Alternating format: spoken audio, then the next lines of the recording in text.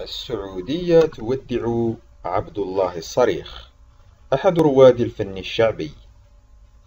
امتدت مسيرة الصريخ لأكثر من أربعين عاما تميز فيها بأنه أنتج الغناء على مقام الصبا. بعد مسيرة أربعون عاما ودعت الساحة الغنائية الشعبية في السعودية صباح الجمعة الفنان الشعبي عبد الله الصريخ أحد أشهر الفنانين الشعبيين وأحد رواد الأغنية في الجيل القديم وذلك بعد معاناته مع المرض.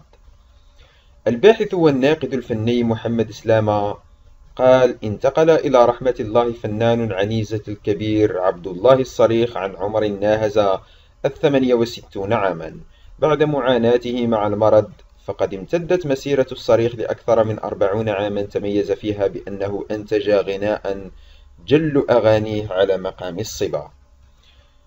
الفنان الصريخ بدأ مشواره على مسارح نوادي النجمة العربية بعنيزة عام 1974 ومثل السعودية في أكثر من محفل داخلي وخارجي وكان خير سفير للأغنية السعودية النجدية.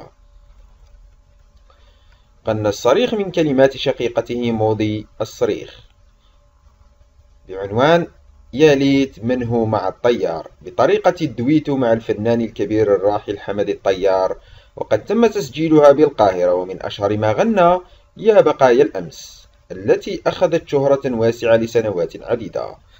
يذكر أن الصريخ بدأ شغفه بالموسيقى منذ الصغر فتعلم العزف على عدة آلات برفقة أصدقائه واتجه إلى الفن الشعبي بشكل رسمي سنة 1974 عبر تمكنه من أداء مقام الصبا عندما كان شابا يافعا مما مكنه من إحياء العديد من الحفلات والجلسات الشعبية في عنيزة وغيرها. وفي سنة 1976 شارك في تقديم أغنية وطنية للتلفزيون السعودي بعنوان يا ربى الفيحاء بمناسبة عودة الملك خالد سنة 1977 اتجه إلى الكويت لتسجيل أغانيه هناك حيث سجل شريطا كاملا قبل أن يرحل إلى القاهرة حيث كان له أول تسجيل رسمي بقيادة الموسيقار هاني مهنا وقام بتوزيع هذا العمل. استوديو سمراء.